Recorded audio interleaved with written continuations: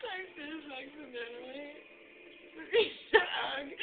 And she said, um, and then some person next to it's like, I should. Every time laughing, and I typed XD, but she put LOL, so it's all messed up. I said, XD, sorry, never mind. And, and, and then. I don't know what that's supposed to mean. It's just really funny, and the person left. Alright. yeah.